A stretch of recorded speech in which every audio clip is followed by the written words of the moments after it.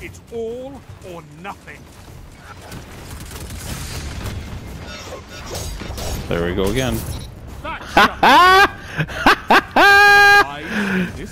Did you see that?